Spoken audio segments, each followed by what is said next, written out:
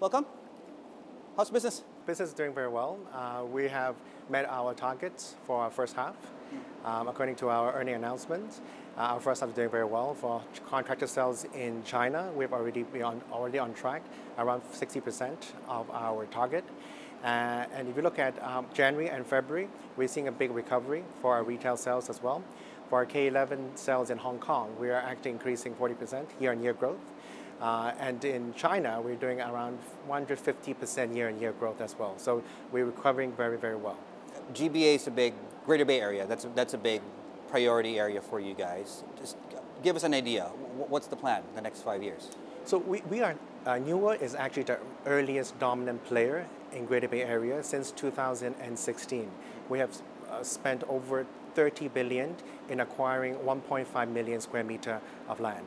And a lot of people will ask me, why will you be so putting so much eggs in uh, Greater Bay?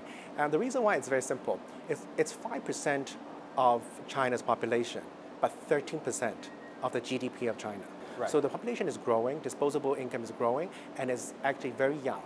So this is going to be a very important, uh, has a very big potential in uh, disposable income and also um, uh, a market, marketplace that is exactly like a South Korea. 70 million right. uh, population is exactly like South Korea. So big market uh, and, and young audience. Do you get a sense that you're underinvested? Like, the, is, is 30 billion now, does that seem like a small number? Like, is, is there a, are you looking to increase basically your capex and your exposure to the GBA? Yes, yes, we're, we're uh, keep on incrementally you know, adding more, but the most important thing is to find the right locations because we're, we're, very, we're focused on quality um, land. Um, so we don't want to have a bidding war with our, uh, with our peers, uh, but we want to find a good uh, location and also quality um, uh, to provide quality services to our customers. Is that, and you mentioned triple digit growth in China last year. Is, is that sustainable? Is that, is that the rate of growth that realistically we can expect over the next five years in terms of, our, at least for you guys? Yeah, our CAGR growth, uh, our guidance for our CAGR growth is double-digit rental growth for all K11 projects. We're building 24 uh, K11 projects in the next five years. And for residential projects, we're guiding um, a double digit for our contracted sales uh, in the next five years as well. So we're very optimistic with Greater Bay Area uh, and also China as a whole double digits is 11 to 99. Is it closer to 11 or is it closer to 99%? So a, a nice, you know, double digit, okay. uh, you know, low teens, uh, you know. Recently, one of the concerns has been that it's not so much that we're looking at a property bubble, but there have been signs that the activity has really been picking up because you mentioned supply chains. And you look at the activity levels, they've certainly gone up what are you seeing from your perspective? Is are we getting to a bubble? Is it is it getting a little bit too frothy? Uh, what are your thoughts on that from a developer's perspective, of course? From a developer point of view, I think um, it's I think it's a great it's, it's, it's striking a balance. Okay. We feel that it's striking a balance. Yes, there's a lot of rumors saying that there's bubble, but I feel that there's a, a balance, that is, there's some consolidation, but we're seeing also a lot of growth in certain fields. Like for example, in the innovation side, in the TMT side, um, we're see, still seeing a lot of uh, venture, cap, uh, venture companies that are actually growing. Uh, so it depends on what field we're talking about, like for example, healthcare, for example, like AI. These are all very important types of uh, uh, path, pathways in, in China that's actually growing. Uh, because people do need these. So for example, for, for New World in innovation, uh, we focus on uh, customer relationship management systems, in uh, recommendation engines, algorithms, AIs, and also data analytics. These are things that companies need. We need them. So we still have a very strong demand in China for these uh, products and these companies to, to surface and integrate with our newer ecosystem. Um, and so, for example, we have a Eureka Nova, which is an open, innovative uh, incubation program and we try to empower millennials uh, tech startups to co-create with New World. So we have around 58 companies that integrate with our New World uh, Group ecosystem. And uh, in this ecosystem, we have around 17 business units, 14 million members of our New World members. So we're able to offer to these um, uh, tech startups in order to integrate, uh, to co- co-produce, co-create IPs. And what I'm trying to say is that these are very important because we are the customers we need them to give us the, the services and products. So as a result, we invest in these companies. Same as in China, we invest on, in these companies as well. And healthcare, AI. Uh, these are all uh, things that I think people are willing to invest and that, that is growing. I was actually going to ask you about that and take a step back. It seems like you're doing a lot of things. What's, what's the rationale from an overall strategy perspective? Why get into all of these things that traditionally you guys are not known for? Yes. So um, my, my vision for a New World um, is to really connect businesses with social progress. So creating the shared, uh, shared value with society and really giving back. Okay? We want to, we're a B2C business model. We want to enrich our consumer daily lives with three things powered by three things culture, creativity, and innovation. So what we want to do is we want to also want to create this human-centric ecosystem because we have so many business units, we have 17 business units, 40 million uh, members. We want to curate and create a customer journey. So the customers can navigate in our private ecosystem, this inner circulation, and increase the customer value. So that's why we have hardware. You cover all aspects of their lives, from buying a house, from staying in our hotels, shopping, but at the same time, enjoying our services. What is the, the most needed services? Healthcare service, educational service, uh, and also insurance service, maybe financial service as well. Right. So if you think about it, it's all intertwined in this um, private ecosystem, and we can actually not only just uh, cross-sell uh, uh, business opportunities, but increase stickiness, increase customer loyalty, uh, and, and, increase our customer value. For a customer point of view, it's a curated and a customized journey. And that's why we need technology to be uh, uh, inside this ecosystem to enhance it. As I mentioned before, customer relationship management system, data analytics so that we can understand what the customer wants and recommend the right products and services to them.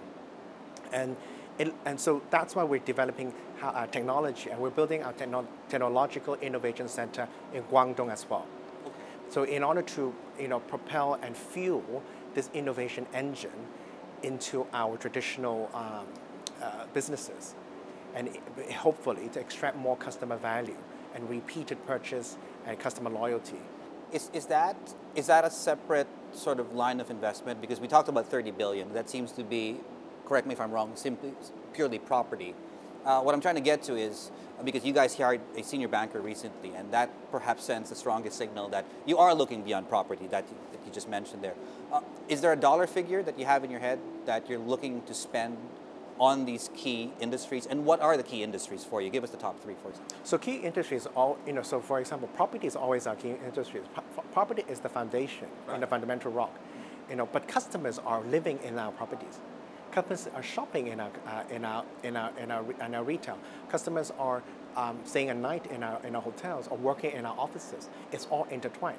It's to enhance that customer value, that single unique uh, visitor, unique customer, and its unique VIP, and really enhancing, the, enhancing it and really extracting that, that, customer value while they're actually buying our apartments, living there, right. shopping in our retail.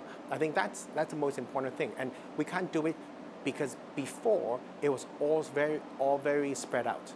Or everyone had their own business units. But now with te technology, with our CRM system, with AI, we're able to understand more about, about you, David. And you can, and we know that you have shopped in, uh, in K11, you have stayed at Rosewood, right. you, have, you have bought our uh, uh, apartments, and we, we may give you more rewards. For example, using, we have a, a little uh, kind of interesting synthetic currency called K dollar, right. where I've used able, yes, so you can you have no you have no earning uh, uh, limits and you have no you have no burning conditions as well. Treat it as a currency, and we may able to subsidize more. We can reward you more, and your stickiness is important for us because um, you have more repeated purchase and more cross uh, cross selling uh, opportunities.